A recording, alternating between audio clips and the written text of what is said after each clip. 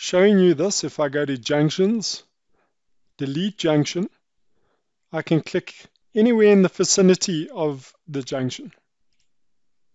There's my first example. I'm going to say no, I don't want to delete it. Pressing spacebar on my keyboard, I can click at another spot.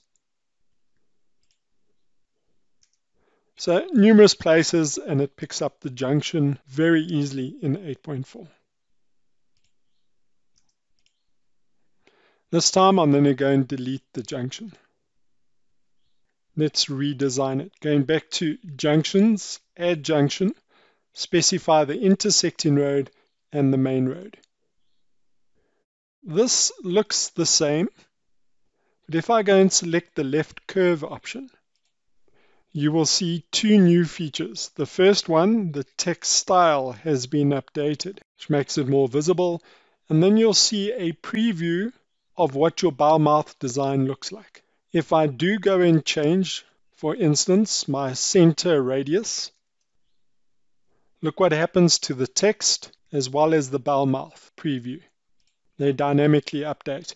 If I go back to my radius and select another cell, it then again goes and updates. If I go and select the curve option, you can see the display is being removed and that is because I've, I've got information that is outstanding. Putting in radius and offset values.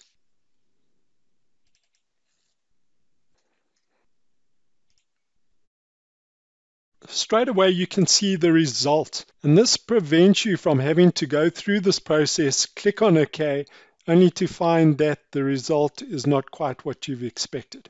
Taking it a step further, applying a taper option, again you can see how the diagram has been updated. If I turn off the taper, if I turn off the curve, and then changing my radius once again.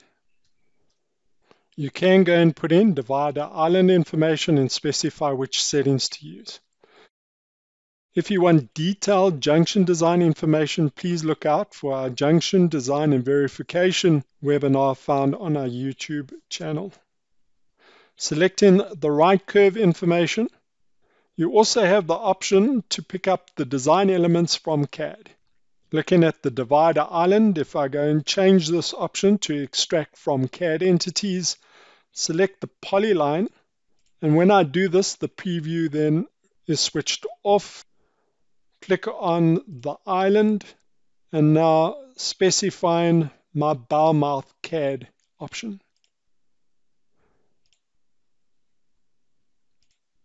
If I haven't turned on the CAD layer yet, I can go to my layer display settings, switch on which layer I would like to use, and then indicate it.